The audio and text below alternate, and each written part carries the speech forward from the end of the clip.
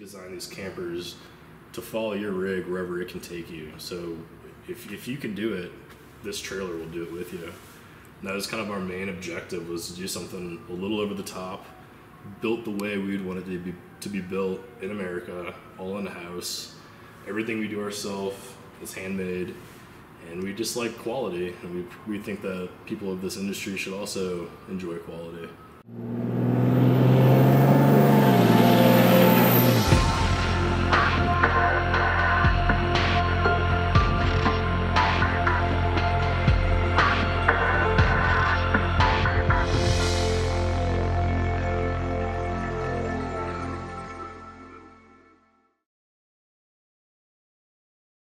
Well, thanks for joining us today. Super exciting. I'm here with Brandon What's happening?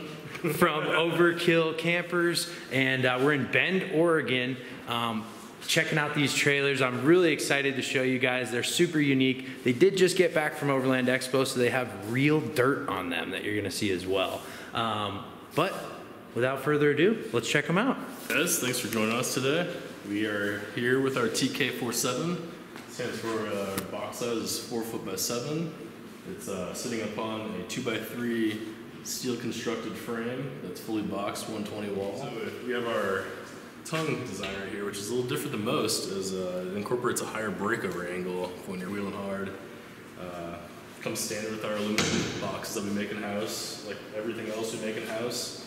We have modular tube work, so just like slider construction, takes a beating, you mess it up, unbolt it, we'll send you a new pair.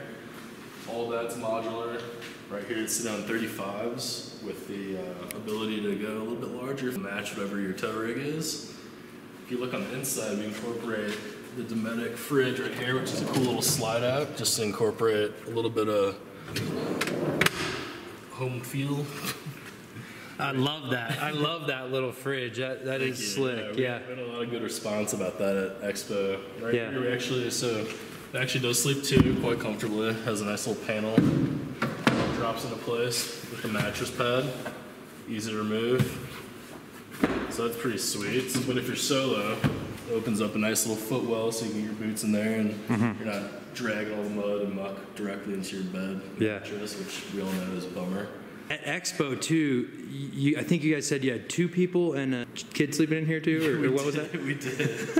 uh, we Rochambeau and they lost. So yeah, they, they cr- uh, packed it here and we're actually quite comfortable. The you know weather was perfect. Open up a nice little Dometic fan and have a nice positive breeze going through. That's awesome. So a little bit different with our design is the gold door. So that actually allows you to open up and have an entire nice view of whatever you're camping near, whether it's lakeside, mountainside, whatever you're doing, because it brings the indoors, the outdoors in. I just saw that for the first time and literally behind the camera went.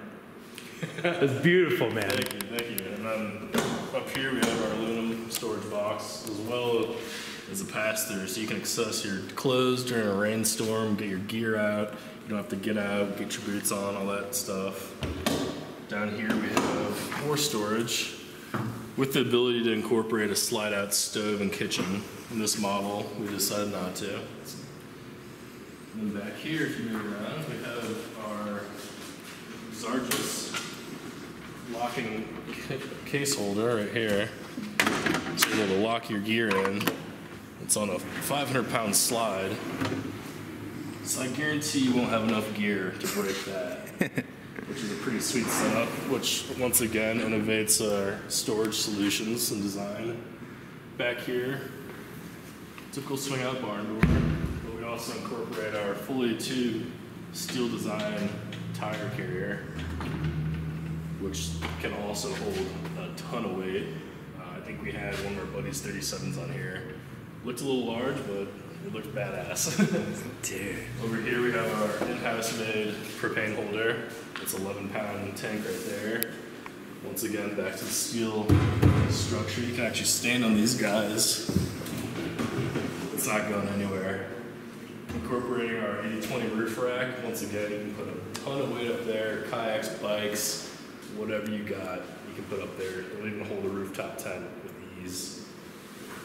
We do utilize Arctic Terran, awesome design. You're able to lock it with an eighth inch out so you can have security plus positive airflow, keep those bears away when you're up north. Nice. Over here, going back around, just back to the storage boxes. Our lower does include nice little truck vents. So if you do have your mucky, mucky waders, put them in there, have some positive airflow as you're driving down the road. So that's pretty much wraps up the TK47. Uh, besides having the Timbren 3500 HDs, keeps you nice in control. Track width of just about 78 inches. It's a little wider than a mid-sized truck or a Toyota Land Cruiser, is what we modeled it after. Uh, about 22 inches of ground clearance, so wherever your truck can go, this will follow. So on this model, we actually have the Zarya slides. We have a Propex heater, which is a propane system, awesome to keep you toasty. We have a roof rack, 35s. Does not have a stove, but we do have the Dometic. And uh, I think that's probably about it on this guy. Beautiful trailer. Thank you very much. Well, thanks for showing us, Brandon. Yeah, absolutely. This thing's awesome, but the big mamma jam is around the corner, right? What's that one called? This is the SO510. Stands for slide out, 5 foot by 10 foot box. So Nice. you come around here, But you're gonna have to tune into the next video to check out that beast. Thanks so much for watching. Be sure to check out their website at overkillcampers.com. The only question is, are you down to mob an overkill camper?